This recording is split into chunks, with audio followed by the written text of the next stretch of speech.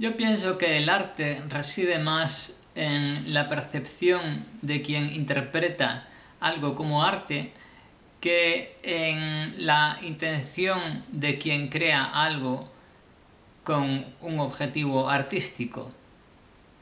Quiero decir que si alguien crea una obra intentando hacer arte y mm, esa persona no se ve satisfecha con el resultado de forma que no lo considera arte, le parece una chapuza y no le parece arte, no lo percibe de forma artística, mm, no significa que eso no sea arte, porque si otra persona lo ve y lo interpreta como arte, eso se convierte en arte de alguna manera, porque es quien observa eso y quien lo interpreta la persona que convierte eso en arte.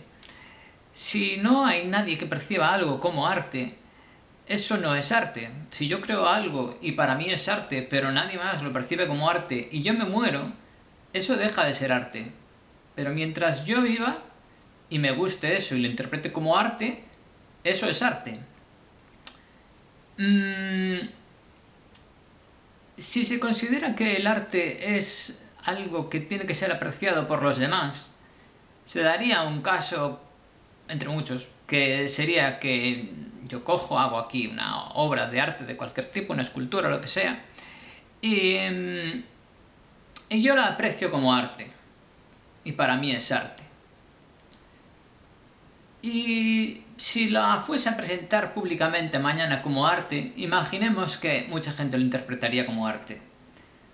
Si es si mi casa se cae conmigo dentro y con la obra dentro y no llega a ser observado, apreciada por nadie como arte, ¿es acaso eso algo que convertiría a mi obra en algo que no ha sido arte nunca? Solo porque otros, aparte de mí, no lo han interpretado como tal. Si alguien ve un árbol y en el árbol mm, ve cosas que le evocan algo a nivel artístico, le parece que tiene belleza más allá de mm, belleza de otro tipo, sino que tiene para él o para ella tiene una estructura o así, o algo que, que vive como arte. Esa persona está creando arte en su mente. No es que alguien haya creado el árbol con la finalidad de que alguien lo perciba como arte, pero es este individuo que percibe el carácter artístico del árbol, la persona que está creando el arte. Y si mm, y si alguien crea algo y mucha gente percibe eso como arte y de repente se muere todo el mundo, eso deja de ser arte. Una, una obra que alguien ha creado como arte y que ha sido apreciada como arte mm, en el momento en que desaparezcan los individuos que puedan entender algo como artístico o que puedan eh, observar las cosas desde un punto de vista artístico, eso deja de ser arte. Las meninas dejan de ser arte en cuanto no haya humanos o en cuanto a nadie en el mundo le gusten ya las meninas en cuanto a, en, términos artísticos.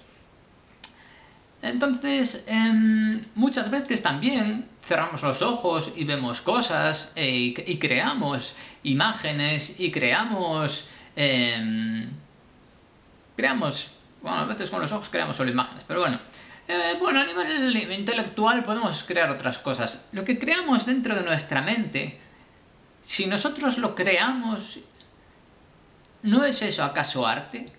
El hecho de que lo plasmemos a nivel físico es lo que lo convierte en arte y qué relevancia tendría el hecho de que lo transformemos en algo físico. Tú cuando piensas algo, eh, ese pensamiento u esa opinión no empieza a serlo en el momento en que tú lo escribes o lo comunicas. Ese pensamiento u opinión ya es eh, algo que existe en tu cabeza y con el arte eh, tú creas una idea de lo que vas a reflejar a nivel físico y mm, esa propia idea es una idea artística, no tienes que plasmarlo. Si tú tienes esa idea y, mm,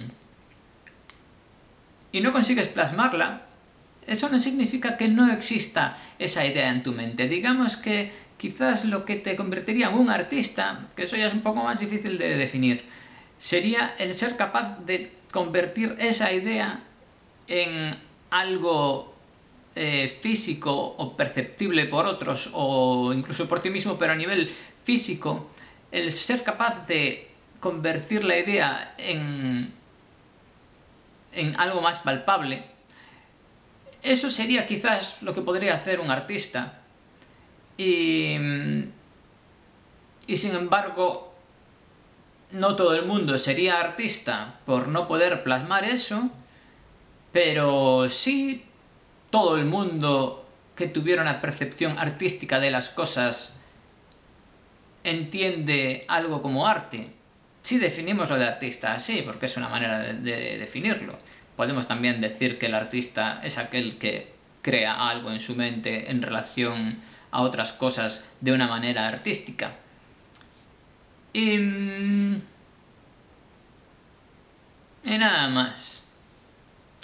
Digo yo, ¿eh?